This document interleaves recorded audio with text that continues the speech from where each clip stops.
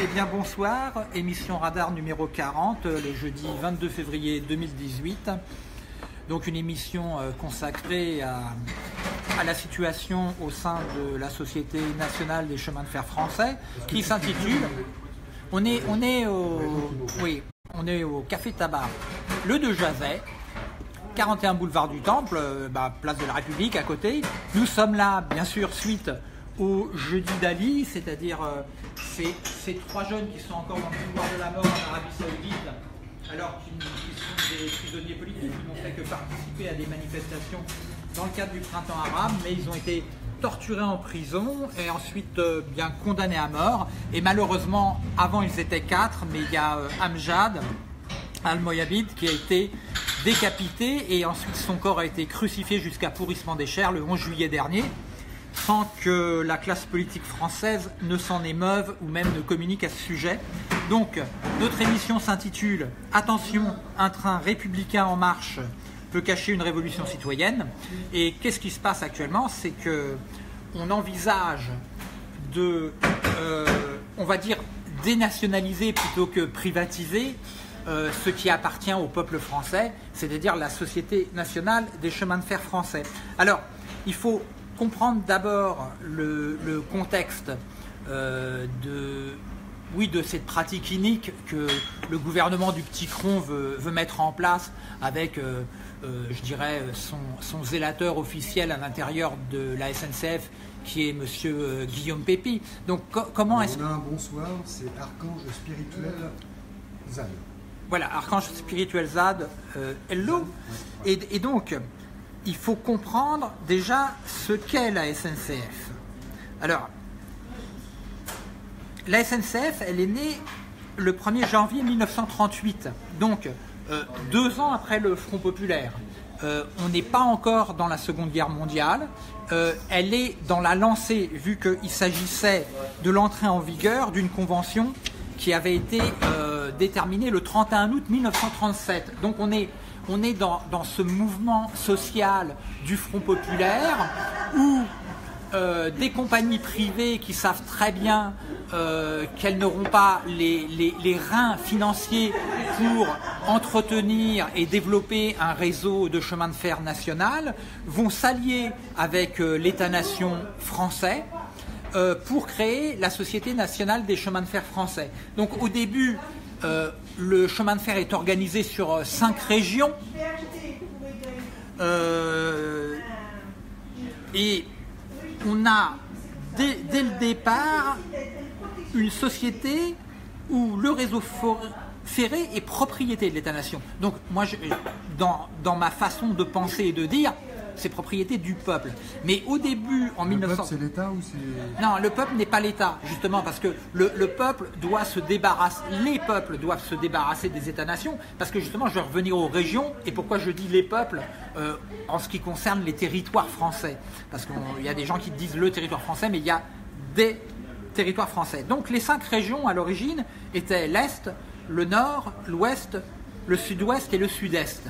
Donc, ces cinq régions correspondent en fin de compte, bah, on, a, des Bretons, on, on a des Basques, en fin de compte on a les peuples français, des peuples qui sont euh, liés à des régions, à des territoires auxquels ils appartiennent. Et en fin de compte, le chemin de fer ne pouvait que représenter cet état historique euh, des territoires, ce qui n'est pas particulier euh, malheureusement à la France, mais en Italie, euh, dans tous les autres États-nations, eh bien, il y a des régions avec, avec des peuples. Donc, chaque État-nation est constitué de peuples, peuples au pluriel. Donc, Théoriquement, dès le 1er janvier 1938, avec la création de ces sociétés nationales des chemins de fer français, on aurait pu croire que la SNCF euh, possédait. Non, c'est l'État-nation qui possédait le réseau, mais il ne le possédait qu'à 51%. C'est-à-dire 49% appartenaient euh, aux sociétés euh, privées. Donc, dès le départ, euh, 40, euh, oui, c'est ça, je crois. Je, je regarde le pourcentage. Euh, que je me trompe pas, oui, je, je crois que c'est. Non, c'est 49% des, des actions sont les compagnies privées et, et donc 51% l'État-nation. Et donc, qu'est-ce qu'est la, SNCF Si elle n'est pas propriétaire de l'entreprise, elle en est le concessionnaire, mais pour 45 ans seulement. Et donc, il faudra attendre 45 ans et 1982, parce qu'il y a tout un processus où les actions privées sont amortissables pendant ces 45 années, et ce n'est qu'en 1982 que l'État-nation français, donc les Français, les peuples français, seront propriétaires à 100% du réseau ferroviaire. Alors, il faut voir que le, chemin de fer, à part le fait d'être écologiquement euh, le transport terrestre le plus économique, parce que je, ne parle pas bien sûr du transport fluvial, qui euh, effectivement sur des plus gros tonnages peut être plus économique que le rail, mais qui se limite au, réseau des fleuves et des canaux. Le chemin de fer, lui, permet, par la pose des rails, euh, de desservir l'ensemble du territoire, et donc il va y avoir un développement énorme de, ce réseau ferroviaire euh, parce qu'il va être un, vecteur de développement euh, économique euh, et avec tout le corollaire de l'économique, donc politique et social, des territoires français. Et en 82, donc un an après l'élection de François Mitterrand, on est à l'intérieur d'un pays où la totalité du réseau ferroviaire appartient au peuple français. Mais ce qui va se passer, c'est que suite à la guerre, parce qu'il ne faut pas oublier quand même que créer cette société nationale est créée en 38, elle, a une existence officielle le 1er janvier 38, mais le premier président de la SNCF, qui s'appelait euh, Pierre Guinant, il va être démis par le gouvernement de Vichy en septembre 1940. Donc on a un intermède avec la, la guerre de 5 ans où les cheminots vont, vont faire acte euh, plus que de résistance, c'est-à-dire que euh, partout, dans toutes les régions de France, le cheminot est le fer de lance de la résistance à l'occupation allemande. Ça, il ne faut pas l'oublier. Il, y a même, il y a même une date qui est extrêmement importante. mais c'est pire que ça. Le 31 octobre 1942, Léon, Léon Bronchard, Léon Bronchard, conducteur de locomotive, eh bien il refuse de conduire un train de déportés. Et donc il va être euh, fusillé parce que ça plaisante pas. C'est la loi pour le cheminot. Le cheminot qui est pris euh, à saboter euh, l'effort de guerre allemand est fusillé. Donc dans toutes les régions françaises, vous pouvez le voir dans certaines gares, vous avez des plaques de marbre et on voit la liste des noms des cheminots résistants. Euh, soit ils sabotaient, ils faisaient sauter des voies, euh, soit ils sautaient en marche. Moi, j'ai vu des images parce que j'ai été cheminot étant jeune. Donc, euh, le, centre du visuel, il faut comprendre que le centre du visuel de la SNCF qui a été détruit en, 2008, c'est-à-dire qui a été abandonné en 2008 pour filer ça à, des sociétés privées, et depuis, il n'y a plus de tournage en 35 mm des, nouveaux trains, de, de la vie de l'entreprise, parce qu'il avait déjà été décidé à cette époque de casser la SNCF, de casser l'esprit cheminot, de casser l'esprit cheminot de résistance. Parce que tous ces résistants cheminots qui avaient tourné pendant la guerre de manière clandestine vont être les, les, cadreurs, vont être les, les opérateurs de prise de vue qui vont tourner la bataille du rail. C'est-à-dire que c'est tous des opérateurs du centre du visuel de la SNCF qui vont tourner le film de René Clément, La bataille du rail. Et aujourd'hui, en 2018, s'ouvre une nouvelle bataille du rail. Sauf que cette fois-ci, l'occupant n'est plus nazi, l'occupant n'est plus allemand. L'occupation, c'est l'occupation de l'espace public par le privé. Et on va prendre donc, l'idée c'est qu'en 82, on a l'ensemble des infrastructures, le réseau ferré français appartient à 100% au peuple français avec un S à peuple. Qu'est-ce qui va se passer entre 1982 et aujourd'hui, parce que, en fin de compte, le, temps, le temps est assez court. 2002, 20 ans, plus 16, 36 ans. En 36 ans, les gens qui ont collaboré avec ce gouvernement de Vichy, qui a démis le premier président de la SNCF, vont reprendre du poil de la bête. Et comment est-ce qu'ils vont faire Progressivement, ils vont faire une, technique qui est connue de tous les financiers, qui est extrêmement importante à comprendre, c'est je privatise le profit, je nationalise les pertes. Et donc, on va faire payer aux contribuables euh, tous les efforts d'investissement lourds, euh, à la fois dans le renouvellement des, machines, parce qu'il ne faut pas oublier qu'en en, 40, l'Allemagne va préempter plus de 1000 locomotives. Et je ne parle pas du, nombre de voitures. C'est-à-dire que l'Allemagne nazie prend, vole à la SNCF euh, des actifs, des trains complets, des locomotives. Donc, on, retrouve une SNCF au moment de la reconstruction en 1945, une SNCF qui est exsangue, moins, moins que le réseau ferroviaire, de Tchécoslovaquie, qui lui, il ne restera qu'une seule locomotive en marche à la fin de la guerre en Tchécoslovaquie. Une seule locomotive sur l'ensemble du réseau. En France, ce sont des, cheminots et des ingénieurs de la SNCF qui vont relever des ponts avec des vérins. Moi, j'ai vu, des, des, vidéos de films qui ont été tournés à l'époque de la reconstruction, où des types avec des madriers et des vérins à main relèvent des ponts sur la Loire.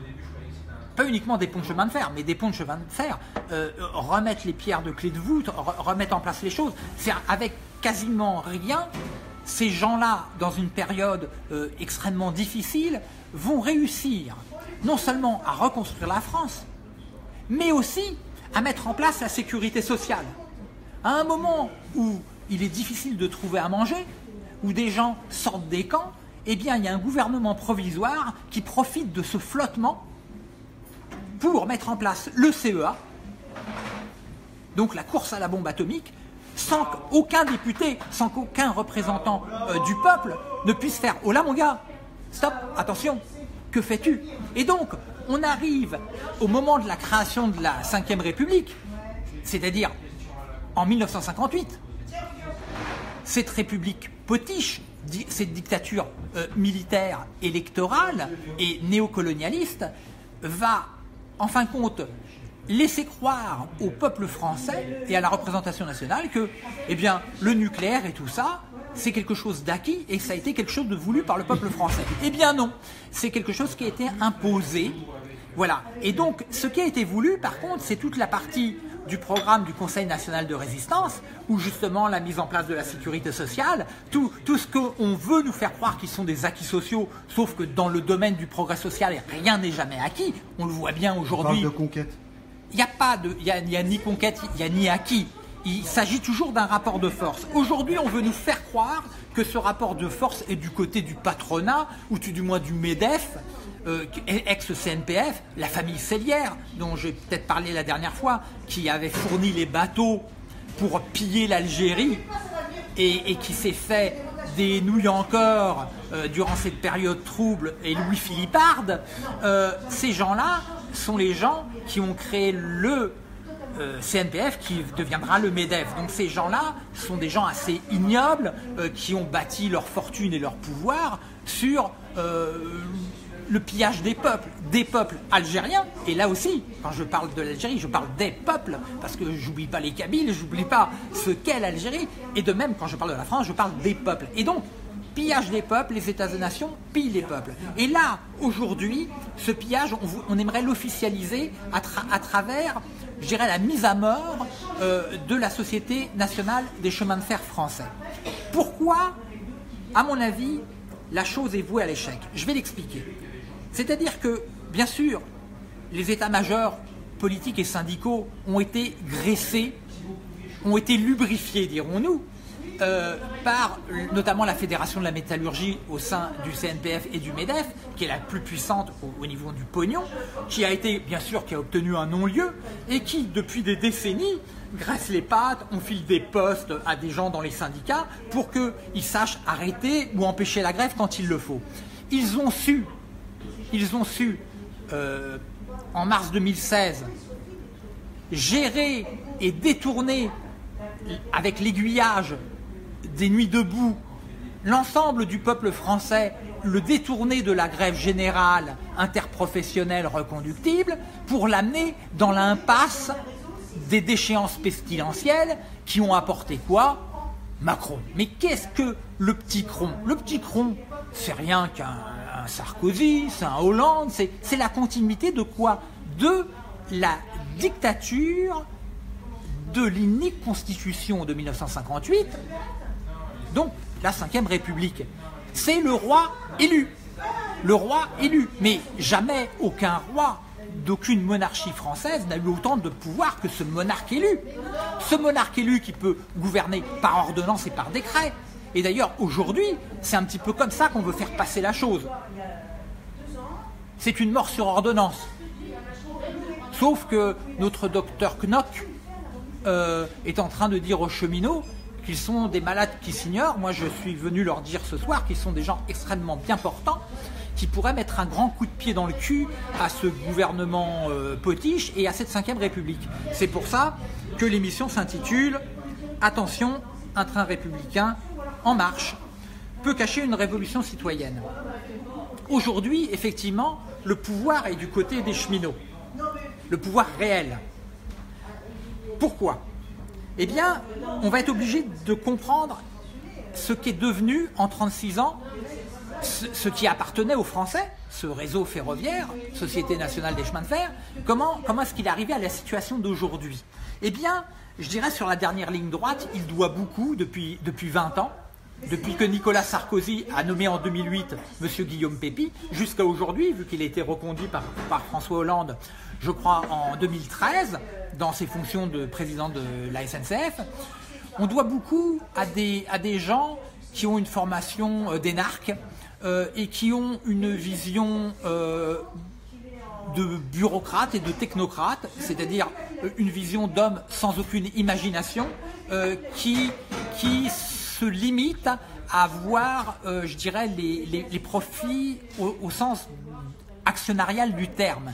C'est-à-dire qu'on n'est plus du tout dans l'intérêt général, on est dans, dans le profit financier. Et donc, on va détourner une entreprise nationale de l'intérêt général, qui est de servir euh, les territoires et, les peuples qui appartiennent à ces territoires vers de l'intérêt financier. Alors comment ça va se passer?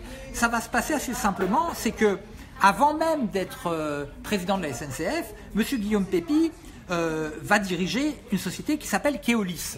Et Keolis, alors c'est il y, a, toujours des, des, grands communicants. Keolis, c'est l'acteur de la mobilité partagée. Mais avant tout, c'est une société qui est détenue à 70% par la SNCF et à 30% par la Caisse de dépôt et placement du Québec. Et donc, cette société, elle, est divisée en quatre petits groupes avec des noms euh, assez mignons. Euh, c'est des, petits Areva en miniature. On, a EFIA, 141 000 places dans 360 parkings.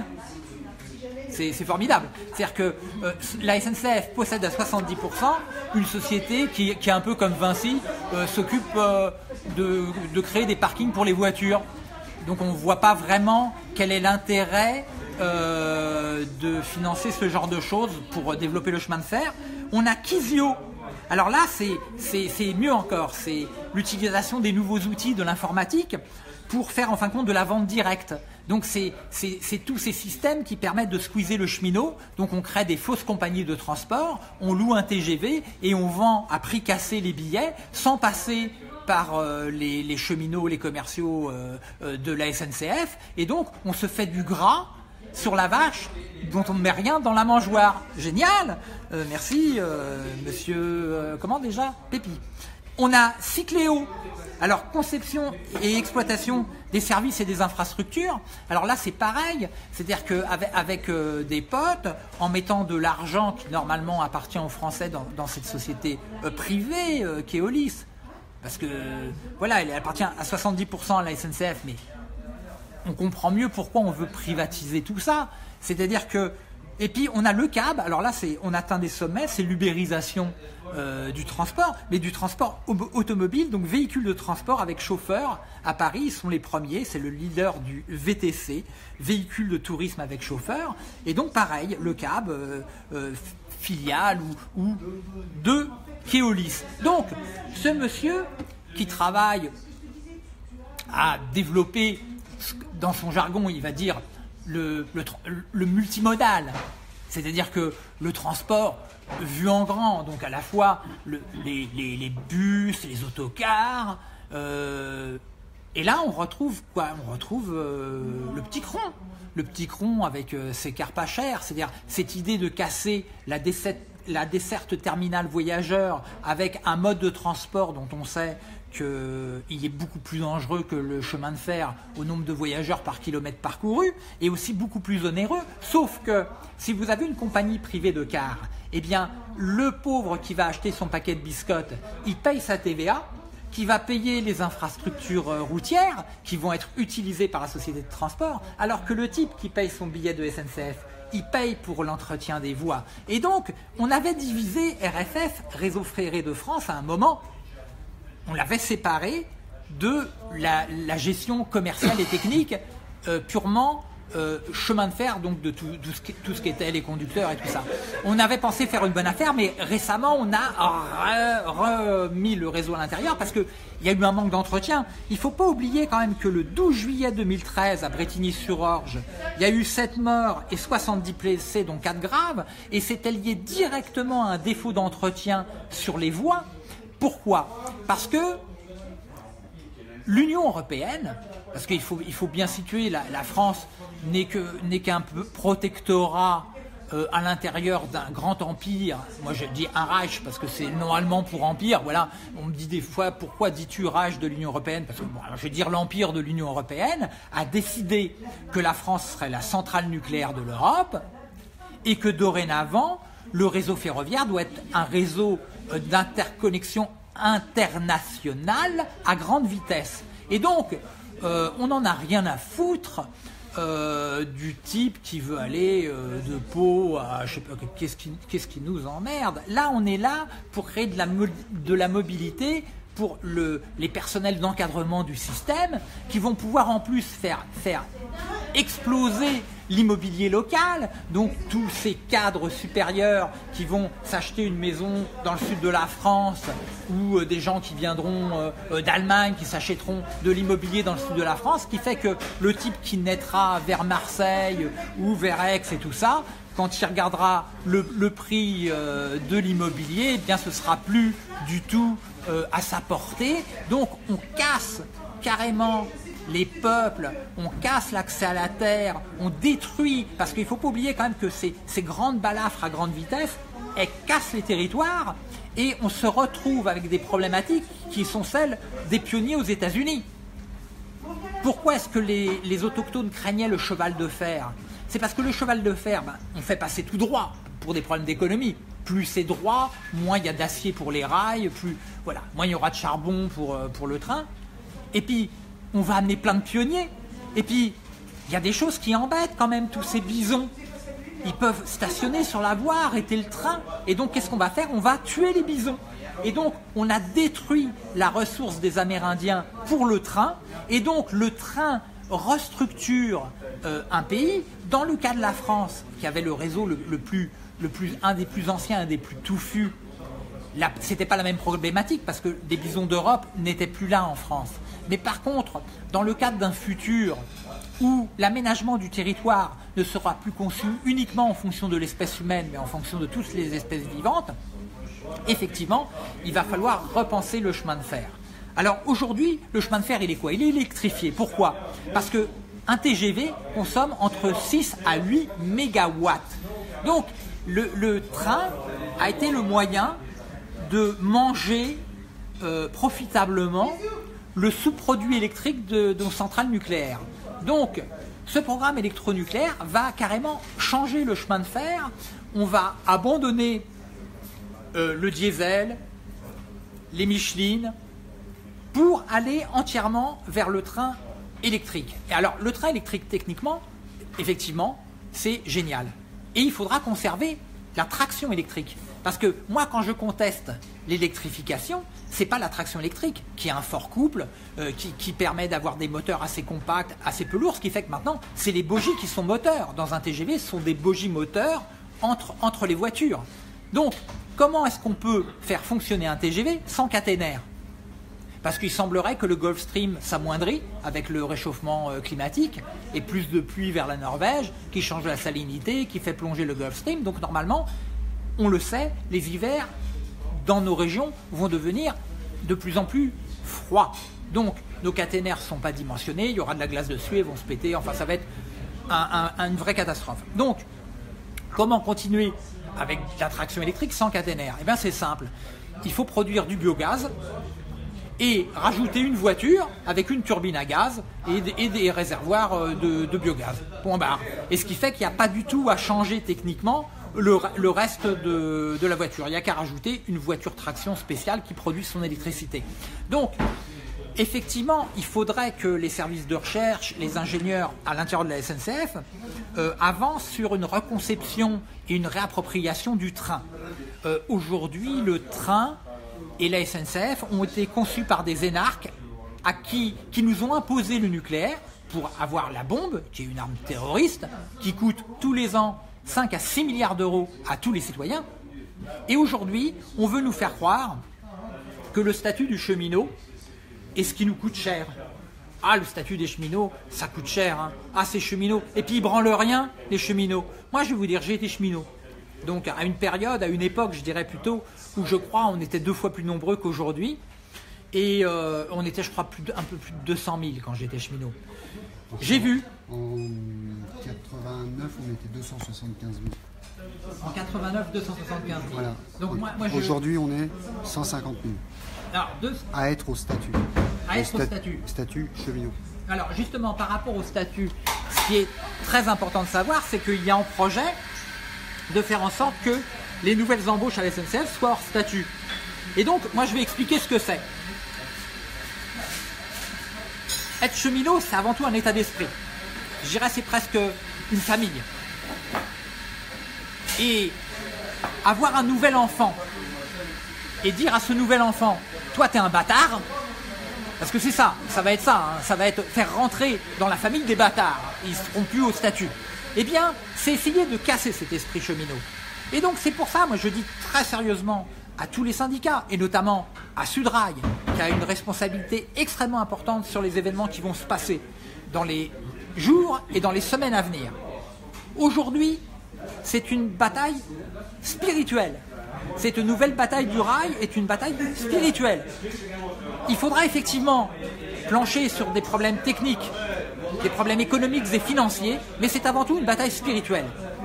Quelle société voulons-nous? Est-ce que c'est une société où les individus doivent être mis en concurrence, les uns et les autres? Est-ce que c'est une société de collaborateurs serviles à un ordre financier supranational comme est l'empire de l'Union européenne Ou est-ce qu'on doit aller vers des sociétés où, non pas collaboration entre les individus, mais de participation? Et alors, moi, je me suis interrogé et j'ai retrouvé ces interrogations dans, dans un des livres d'Albert Jacquard. Et la véritable interrogation, elle est là. C'est-à-dire que il y a l'armée qui est un cas, on dit à l'armée, c'est la discipline qui est la principale force de l'armée. Donc dans l'armée, il n'y a pas du tout de démocratie. Tu dois obéir à ton supérieur. Et tu vas en conseil de guerre si tu n'obéis pas. Donc c'est peu une démocratie. Et aujourd'hui, il y a l'entreprise. L'entreprise n'est pas une démocratie. C'est-à-dire quelqu'un qui travaille dans une entreprise, si il, n'obéit pas aux objectifs fixés par l'entreprise, eh bien pareil, on peut, on peut le, virer et le contraindre. Donc, les deux espaces euh, qui aujourd'hui, je dirais, regroupent 99% de des, populations, sont des espaces antidémocratiques. Donc, qu'est-ce qu'il faut à la SNCF Il faut que la SNCF redevienne euh, un précurseur du, mouvement social progressiste. Et donc, qu'est-ce qu'il faut? Il faut des entreprises où les dirigeants sur des mandats courts sont élus par les travailleurs de l'entreprise. Il faut se réapproprier les moyens de production et décider de comment on organise l'entreprise en interne. Et donc, tous les gens, c'est-à-dire le, ce qui, s'est passé depuis normalement 38, euh, c'est que, et c'est pour ça d'ailleurs que le gouvernement de Vichy a viré le premier directeur de la SNCF, c'est que le directeur de la SNCF est nommé au niveau du Conseil des ministres. Donc, ce Guillaume Pépi, il était sous Sarkozy, et il était sous Hollande, et il est sous Macron. On voit qu'il y a eu trois présidents de l'unique 5ème République, et il y a toujours le même président de la SNCF. Et donc c'est symptomatique. Mais ne nous trompons pas, les syndicats vont essayer de faire croire que la démission de Guillaume Pépi est un changement. Bien sûr, bien sûr que Emmanuel, bien sûr que Emmanuel Macron va se dire voilà, je fais péter la soupape, je, nomme un nouveau président de la SNCF, et puis je fais passer la couleuvre comme quoi il y a un changement. Comme si le fait qu'on soit passé de Hollande à Macron signifiait un changement, ou le fait qu'on soit passé de Sarkozy à Hollande signifiait un changement. Il y a eu zéro changement. C'est la même politique de privatisation. Et je me souviens, Nicolas Sarkozy avait dit aux gens de Gaz de France et d'EDF Ah, mais ne vous inquiétez pas, chers amis, jamais vous ne serez privatisés. Eh bien, aujourd'hui, c'est un petit peu la même chose qu'on veut jouer aux cheminots. Mais cheminots, mais non, vous le savez bien, on va pas vous privatiser. Eh bien si, cheminot, on est en train de vous privatiser et on dirait même vulgairement, on est en train de vous la mettre profondément. Et donc, il faut se mobiliser et lancer ce qui a été empêché par les, états-majors politiques et syndicaux en mars 2016, c'est-à-dire empêcher la grève générale. Et c'est ce, que craint le gouvernement de Petit il craint la grève générale. Et aujourd'hui, dans le secteur de l'énergie, au niveau du nucléaire, dans le secteur du transport, dans le secteur de la santé, dans le secteur de l'éducation, il y a beaucoup de mécontentement qui fait que cette grève générale interprofessionnelle, dès demain, on peut la lancer. Mais il ne faut pas attendre de mots d'ordre de la part des directions syndicales ou des directions de partis politiques. C'est pour ça que moi, Roger Nimot, qui professe l'insubordination non violente active, j'appelle les travailleurs à se mettre en grève générale interprofessionnelle reconductible pour faire tomber ce gouvernement de l'inique 5ème République. J'appelle à faire tomber la République pour qu'on invente autre chose que la République, parce que la République est fondée sur un mensonge. Il n'y a jamais eu aucune République qui a été une démocratie, et certainement pas pendant l'Antiquité. Donc, la République dans l'Antiquité n'était que l'alternative à la tyrannie. Eh bien, aujourd'hui, on est dans une tyrannie financière et on veut nous faire croire que la République, avec ses élections, représente la démocratie. C'est faux. Il faut la démocratie dans les entreprises, il faut la démocratie partout. Et même dans l'armée, c'est pour ça qu'il ne faut plus d'armée de métier, il faut l'armée des peuples, il faut faire en sorte que les peuples se déclarent la paix, il faut se déclarer la paix de chaque côté de la Méditerranée, parce que moi, en tant que représentant des peuples français, eh bien, je salue les représentants des peuples algériens, des gens qui veulent se libérer en Kabylie, des gens qui veulent se réapproprier leur destin. Et aujourd'hui, les destins des peuples sont volés par les États-nations. Et donc aujourd'hui, il est essentiel de faire cette révolution dans l'insubordination et la non-violence. Il faut que les peuples comprennent qu'ils sont forts, qu'ils sont forts d'eux-mêmes, qu'ils sont forts de leurs propositions. Et nous avons beaucoup de choses à proposer. Nous avons entièrement nos territoires à reprendre en main. Et notre agriculture et une autre façon de nous habiller, de nous loger, de nous transporter, de nous éduquer. Aujourd'hui, tout ça, on veut le donner à, des secteurs privés pour faire du profit. Et c'est innommable.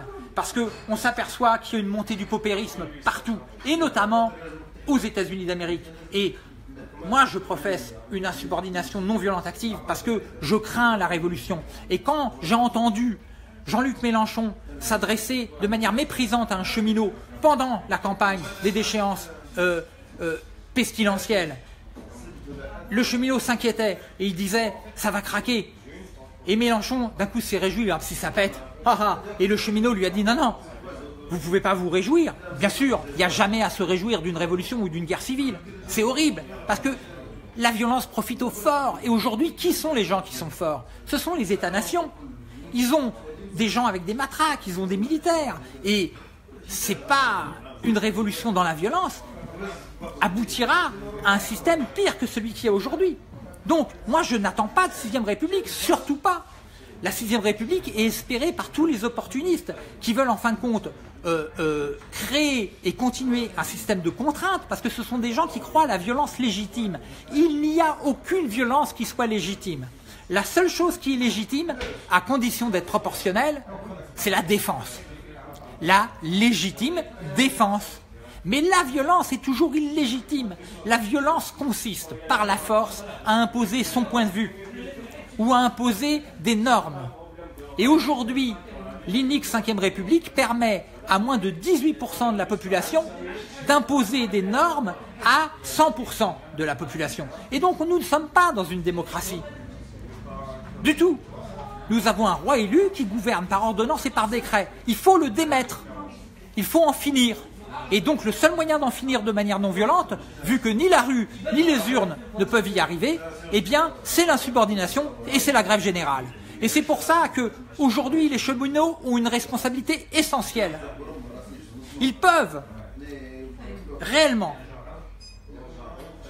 comme ça s'est passé après les législatives de 1936, ils peuvent réellement, non pas créer cette bouffonnerie de fonds social, mais ils peuvent réellement appeler les gens dans les entreprises à repenser l'entreprise, à faire en sorte que, comme Karl Marx l'a décrit, abolir le salariat, prendre en main les moyens de production et décider du destin des territoires. C'est comme ça, en abolissant les États-nations, qu'on pourra arriver à une démocratie réelle. Et pas de leader.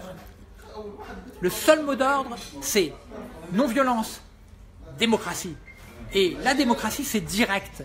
Il faut arrêter de déléguer, ou si on délègue, déléguer sur des mandats courts très précis. Et surtout, avec le fait que le mandaté doit des comptes. Mais aujourd'hui, ces gens-là, ils ne doivent aucun compte. Après le 12 juillet 2013 et la catastrophe de Bretigny-sur-Orge et, le manque d'entretien sur le, réseau, eh bien, M. Guillaume Pépi, président de la SNCF, n'a pas démissionné. Après le 14 novembre 2015 et une rame TGV d'essai de la LVG est-européenne en plus, comme quand on voit que l'empire de l'Union européenne est bien là, bien présent sur euh, ces liaisons euh, très grande vitesse, eh bien, on a 11 morts, 42 blessés, dont 4 graves. Et M. Pépi, président de la SNCF, se permet de dire que euh, avoir 4 jeunes qui, heureusement, seront blessés légers dans la rame, ce n'est pas des pratiques de la SNCF. Je trouve que c'est ignoble par rapport aux familles des victimes, par rapport aux familles des blessés et par rapport à l'ensemble de la famille des cheminots. Et pareil, il n'y a pas de démission. C'est honteux. C'est honteux. Ça me, fait penser à, cette espèce de, ministre de l'Intérieur où on a eu des gens qui ont été tués dans, un journal à Paris. On a eu des gens tués à Nice. Le, le mec, il démissionnait jamais. Il démissionnait jamais. Moi, personnellement, je suis ministre de l'Intérieur, donc je suis responsable de la sécurité des citoyens. On tue 10 personnes dans Paris à l'arme automatique. Eh bien, même et surtout si je ne suis pas responsable, simplement par rapport à la souffrance des familles, je démissionne dans l'heure, dans la minute, dès que je le sais. Dès que je le sais. L'ignoble Cazeneuve, voilà. Eh bien, aujourd'hui, on a l'ignoble Colomb. Franchement, eh, quel est le changement? Il est ni maintenant, il est ni ailleurs. Et pourquoi est-ce que c'est possible? C'est à cause de l'inique 5 République. Et qui? On a des coquerelles qui nous disent qu'on est en démocratie. Moi, je vis et je suis né dans la première circonscription de la Seine-Saint-Denis.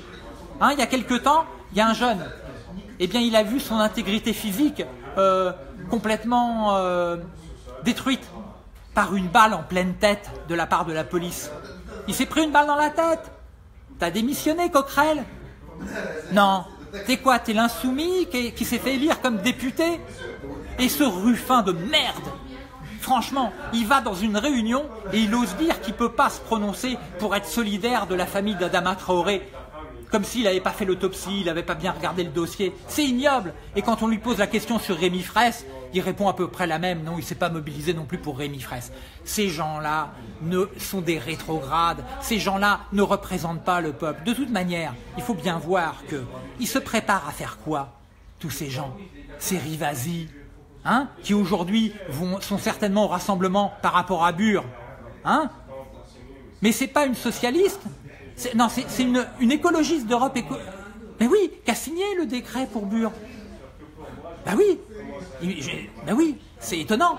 Et ces gens-là, qui ont laissé faire la mort de Rémi Fraisse et qui sont même responsables de la mort de Rémi Fraisse, hein, parce que c'était les élections sénatoriales où ils n'avaient pas pu négocier euh, de sénateurs euh, avec le Parti Socialiste. Donc il s'agissait, Madame Rivasi, je me souviens, elle avait appelé, allez, euh, allez, allez tous à Sivins, hein, pour bien montrer à Hollande, on est fort, on est fort. Ben oui, ça a fini par la mort de Rémi Fraisse. Voilà. Merci.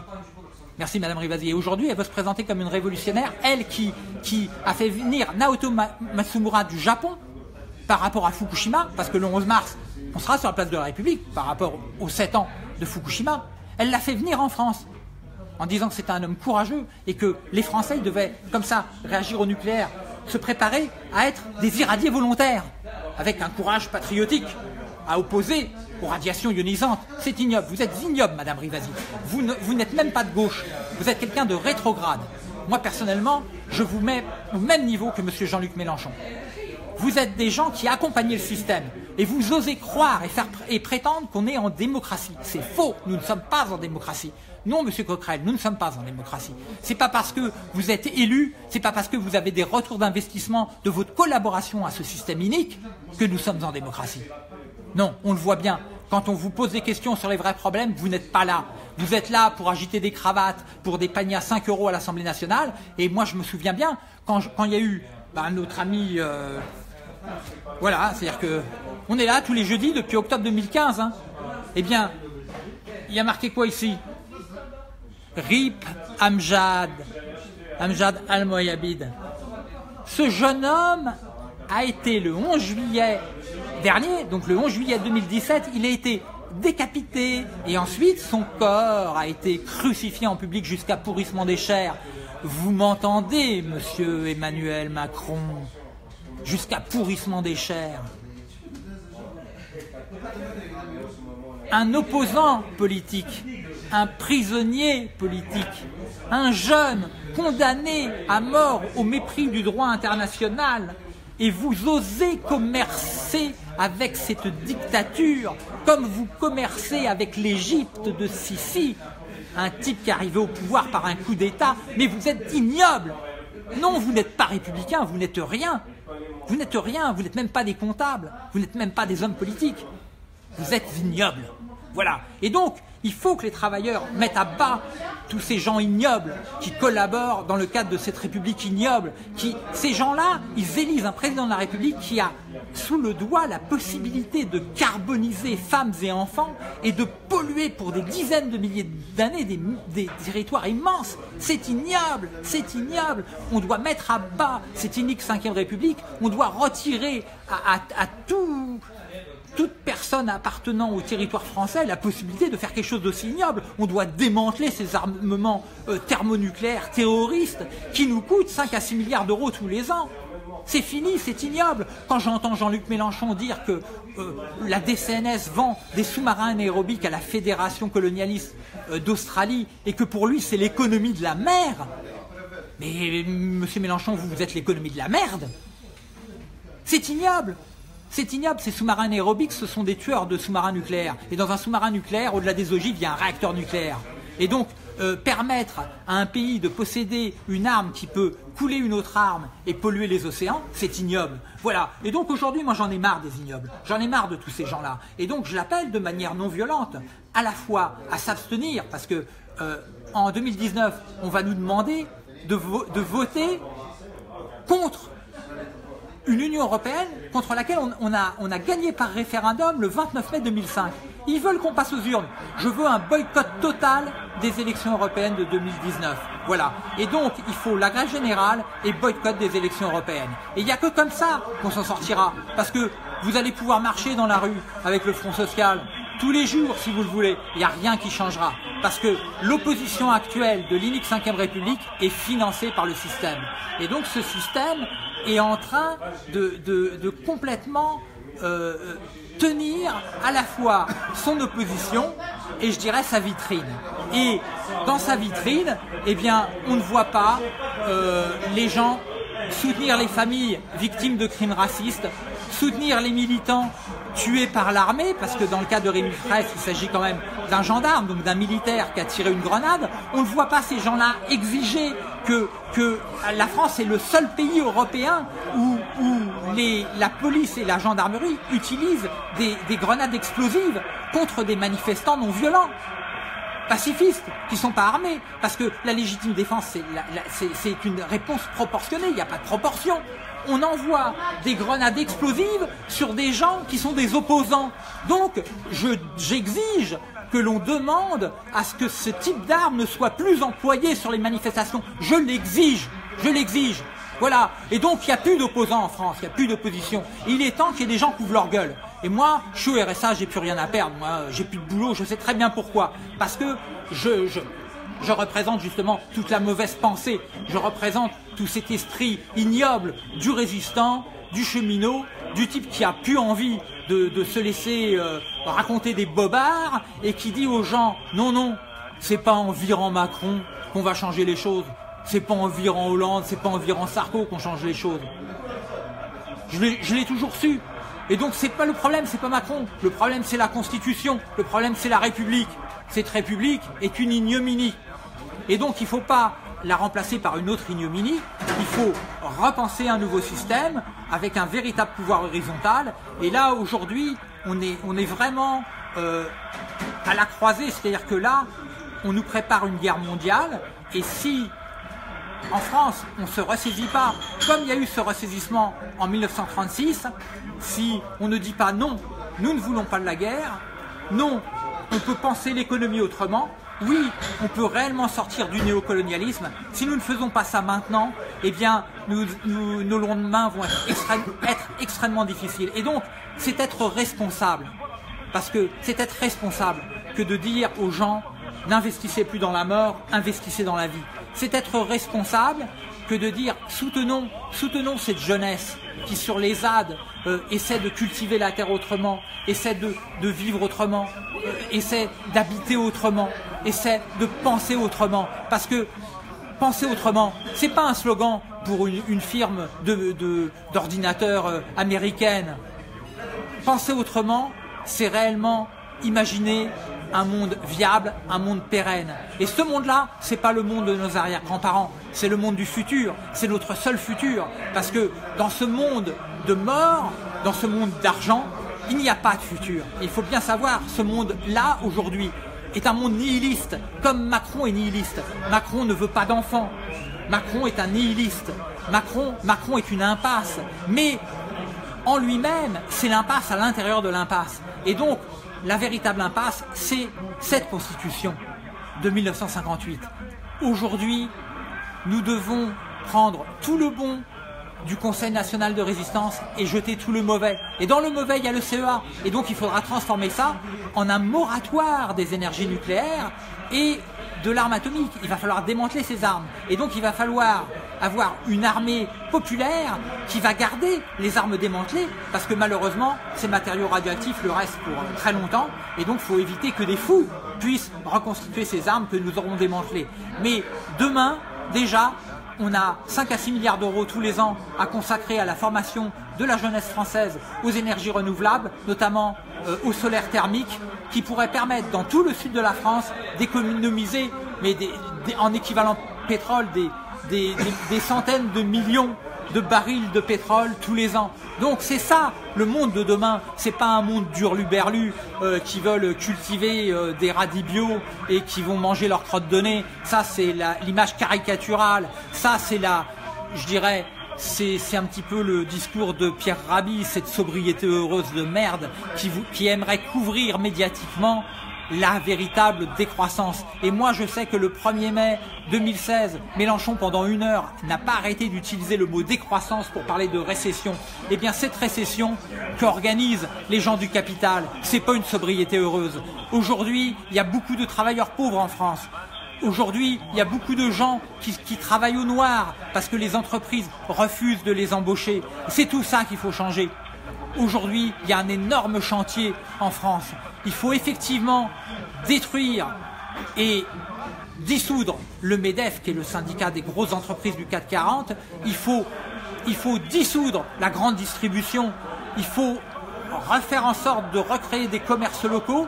Il va falloir repenser réellement, complètement euh, notre organisation, l'aménagement de nos territoires et moi, j'en appelle euh, aux intellectuels, aux artistes, aux scientifiques et aux travailleurs. Retroussons-nous les manches. Ce n'est pas une France en marche qu'il faut, c'est plutôt une France euh, en action. Mais en action pas au sens de l'actionnariat, pas au sens financier, pas au sens de ceux qui dorment sur le travail des Français. Voilà. Et donc. La parole parce que je intervenir. Si tu veux bien. Euh, je t'ai écouté attentivement de, du début jusqu'à la fin. J'ai essayé de suivre. Après, je me suis un peu perdu dans, tout un tas de choses. Et je voudrais revenir sur des faits. Euh, moi, je connais l'entreprise depuis 95. D'accord Donc j'ai 28 ans d'ancienneté. Et tout à l'heure, tu as parlé d'un accident qui est survenu à Brétigny pour un défaut, euh, un, défaut sur la voie. Un défaut d'entretien euh, Non. Tu peux pas dire ça. Merci. Je vais t'expliquer pourquoi. Ok Parce que là, je te fais un petit schéma succinct. Ça, c'est la ligne de production, telle que moi je la connais de l'intérieur. C'est-à-dire que sur cette ligne de production, à l'heure actuelle, on met plein de métiers différents à travailler dessus, avec chacun sa hiérarchie, etc., pour faire euh, circuler un train d'une gare à une autre. Effectivement, les trains, comme tu l'as dit tout à l'heure, roulaient sur des voies. Les voies, il y a des équipes qui viennent la nuit pour les entretenir. Et à chaque fois, qu'est-ce que fait le collègue qui est sur la voie? Il constate, il fait son rapport et il fait remonter ça auprès de la ligne managériale. Maintenant, c'est ce qui s'est passé avec l'accident de Bretigny. Il y a eu des défauts qui ont été constatés par l'exécutant, celui qui était au plus près de la voie pour constater euh, justement euh, les problèmes d'éclisse, etc. Et il l'a fait remonter. Ce qui s'est passé, c'est que le processus, ben, ça monte, ça monte, ça monte, et il y a une décision qui doit être prise. Mais ce n'est pas celui qui constate qui peut prendre la décision, puisque lui, il est simplement exploitant. Ce qui s'est passé, c'est que dans la chaîne, justement, ben, l'info, à un moment donné, elle a, elle a dû se perdre, elle a même dû être broyée, parce que j'ai entendu ces termes-là, si bien que du coup, on responsabilise celui qui est au plus près de la voie, qui a fait son job. Alors Marc, je vais te répondre parce que c'est très important. Euh, effectivement, moi j'ai travaillé, j'ai travaillé pas mal d'années pour le centre audiovisuel, donc j'ai monté même des films de sécurité.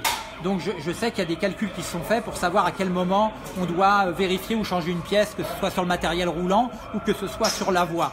Donc pour moi, quand je dis qu'il y a eu défaut d'entretien, je ne dis pas qu'il y a eu un, un, problème euh, dans le travail des cheminots. Parce que tu le soulignes toi-même, c'est la hiérarchie, c'est l'organisation même de la SNCF qui a créé ce défaut d'entretien. Quand tu dis qu'à un moment, le type a constaté, il a bien vu que l'éclisse, qu'il y avait un problème, et il l'a signalé, mais que dans la chaîne de commandement, malheureusement hiérarchique, qui n'est pas horizontale, qui fait que le cheminot de base n'a pas son pouvoir de décision, c'est ce qu'il faut, quand c'est des choses comme ça qui touchent directement la sécurité, il faut que le cheminot de base, celui qui est sur la voie, là, qui gèle les couilles en hiver, parce que ça on l'oublie, parce que souvent on croit que le cheminot c'est un mec qui est bien au chaud euh, et qui attend la fin du mois pour toucher son salaire, non, il y a beaucoup de cheminots, ils sont dans le froid, et la nuit, ils font des ils font des horaires pas possibles, ils ont des astreintes, euh, eh bien, ce cheminot, on l'a privé de son pouvoir de décision. Et donc c'est bien ça quand je dis qu'il faut réellement faire en sorte que les entreprises redeviennent des démocraties, c'est justement, il faut qu'il y ait un pouvoir horizontal, il faut que la responsabilité du cheminot puisse s'exercer jusqu'au plus bas de la chaîne, mais justement, il n'y aura plus de bas de la chaîne il n'y aura plus qu'une horizontalité de pouvoir de décision. Et donc c'est l'organisation dans l'entreprise et la conception de l'entreprise qui a à remettre en cause. Donc j'ai tort et j'ai raison, tu as tort et tu as raison. Parce que c'est réellement un problème d'organisation. Et aujourd'hui, on est dans des organisations verticales, hiérarchiques. Pourquoi? Parce que ben, c'est le principe même de l'actionnariat. C'est-à-dire que s'il n'y a pas cette autorité eh bien, euh, on n'a plus la possibilité de pomper une partie des efforts des travailleurs et de les détourner vers des actions. Qu'est-ce qui s'est passé à Minia qu'est-ce qui s'est passé là L'accident Alors, qu'est-ce qui s'est passé? C'est-à-dire qu'il y a eu un problème, il y a un boulon qui a, qui a, pété, il y a une éclisse qui a sauté dans une aiguille. Et ce qui fait que le train euh, a, déraillé, s'est couché sur le quai, en tuant des gens sur le quai et des gens à l'intérieur du, train, tout simplement parce que ben il y a eu un déraillement qui a été lié à une à une aiguille qui, qui était ni ouverte ni fermée, voilà, et donc c'est c'est extrêmement dangereux et c'était lié à une pièce qui s'était coincée à l'intérieur. Et alors aujourd'hui, il faut bien comprendre qu'il y a de moins en moins de cheminots parce que il y a des critères de rentabilité et que en Angleterre, on a privatisé justement les compagnies de chemin de fer et qu'aujourd'hui on est en train de revenir dessus à cause justement d'accidents et d'incidents. Et donc aujourd'hui, on va s'avancer, si on va vers, euh, vers le plan que propose M. Pépi et les gouvernements de la Ve République, eh bien on va s'avancer vers une SNCF où il y aura plus d'accidents et des accidents euh, mortels. Et, là, on est, on est vraiment... Euh, oui, il faut, il euh, tirer le signal d'alarme, c'est le cas de le dire, et j'en profite pour tirer le signal d'alarme, mais, je veux mettre les responsables euh, des, états-majors politiques et syndicaux face à leurs responsabilités. C'est-à-dire que là, euh, faut pas tortiller du cul. C'est-à-dire que la décision, faut la prendre maintenant tout de suite. C'est pas, euh, on va pas attendre mai 2018 pour faire les guignols euh, autour de mai 68, alors que mai 68 est une espèce de, récupération euh, par le monde consumériste de, la dictature qui s'est instituée dix ans plus tôt en mai 58. Donc on doit directement aller à la racine du mal qui est qu'on est dans, dans une constitution unique qui n'est pas démocratique. Voilà, avec des découpages électoraux, avec le fait que euh, moins de 20% de la population euh, va décider pour la totalité de la population. Et ça, ça va pas, c'est plus possible, ça ne marche plus, et ça pose de très très graves problèmes dans le nucléaire, dans le transport, euh, dans la santé, dans beaucoup de secteurs vitaux des territoires. Et donc aujourd'hui, il faut vraiment que les, travailleurs comprennent qu'il s'agit de leur vie. Alors il y a les revenus, et je sais que Marc, tu m'avais dit quelque chose de très intéressant que je vais reprendre là. Effectivement, ce qui génère des revenus aujourd'hui, avec l'informatique et la robotisation, ce sont des robots. Eh bien, il faut imposer des charges sociales sur tous les revenus, donc sur les actions, mais sur les robots.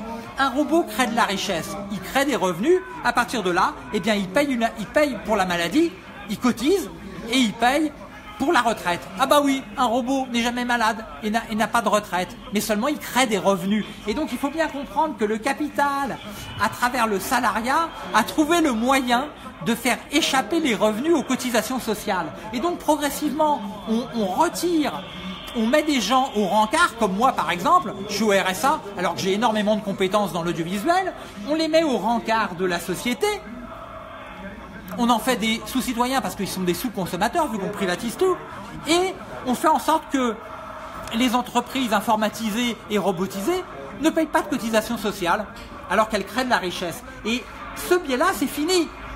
Il faut justement qu'on reprenne le pouvoir pour dire voilà, un robot doit payer des cotisations sociales, tout ce qui génère du revenu doit payer des cotisations sociales. Et là, on va voir que la sécurité sociale n'est pas du tout déficitaire. Tout ça, c'est du pipeau. Donc, Mesdames et messieurs, on a créé la sécurité sociale au moment où le pays était détruit, avait été détruit par cinq ans de guerre. Aujourd'hui, on voudrait me faire croire qu'il faut privatiser la SNCF. Mais on se fout de notre euh, tronche, mais, mais grave de grave, quoi. On se fout de notre gueule. Mais que les gens qui sont au pouvoir se foutent de notre gueule, c'est une chose. Mais que les gens qui se disent d'opposition à l'intérieur des états-majors syndicaux et politiques euh, le prétendre, alors ça c'est ignoble. Et aujourd'hui, on a effectivement des gens dans des partis qui se voudraient progressistes, qui sont en fin de compte des partis rétrogrades, qui veulent vous faire croire que on doit baisser la tête. Mais non, on doit la relever bien haut la tête. Le pouvoir nous appartient. Voilà. Et donc, non, mais tiens, viens parler, viens parler. Attention à ta tension. voilà. Eh, salut tout le monde. J'ai une jolie meuf en face de moi là. Elle fait la gueule. Elle elle fait partie du groupe sans en faire partie. Elle est très mal élevée. Elle est là que pour manger à l'œil. Mais elle fait pas son boulot. donc, eh bien, euh, c'est sur ces paroles qu'on va terminer. Et donc, j'appelle, je, pense qu'on fera une autre émission sur les transports et sur la SNCF. Et donc, j'espère que à la fois des représentants syndicaux et des cheminots, autres que mon ami Marc, parce qu'il faut voir que c'est grâce à notre ami Marc qui existe euh, les émissions radar, et c'est un cheminot. Eh bien, j'espère que la prochaine fois, ils seront là, parce que aujourd'hui, moi, je suis plein d'espoir et je dis, aujourd'hui, on peut initier une grève interprofessionnelle, générale et reconductible qui peut changer les choses et si ça se trouve, dans 15 jours, eh bien, on aura à nouveau un gouvernement provisoire vu que la, la 5 République sera morte et on pourra partir sur de nouvelles bases et c'est ce qu'il faut. Voilà, je vous dis à la semaine prochaine. Oui Je peux te poser une question directe? Quel âge tu as? Quel âge tu as? Quel Moi, est ton j'ai- âge? je vais avoir 58 ans, c'est-à-dire que je, je, je, je suis né sous la 5ème République et, et, et je suis otage de la 5ème République. Ok. Bruno, tu peux nous donner ton âge? Moi, j'ai 58 ans et 2 mois et quelques jours. Donc, moi, je vais donner le mien. Moi, j'ai 51 ans et je vais sur ma 52e année. Pourquoi je t'ai demandé ton âge Euh, Tout à l'heure, c'est parce qu'on parlait des cheminots et je voulais parler d'espérance de vie et notamment de celle des conducteurs. Parce que c'est là où il y a un malentendu, où les gens ne comprennent pas. L'espérance de vie des conducteurs, elle est de 65 ans. Voilà, donc si tu étais conducteur, il te resterait en gros 5, 6, 7 ans devant toi. Voilà, c'était juste pour euh, replacer ça. Eh bien, eh bien tu, as tout à fait raison parce que, euh, effectivement, les ministres, euh, dans leur cabinet, derrière leur téléphone et, ou dans leur voiture avec leur chauffeur privé, et effectivement, ils peuvent tenir euh, bien au-delà des 80 ans, euh, à part, à part quand ce sont d'ex-syndicalistes et qui se font dégommer parce que bah, parce qu'ils en savent trop. Voilà, et donc euh, je vous dis à la semaine prochaine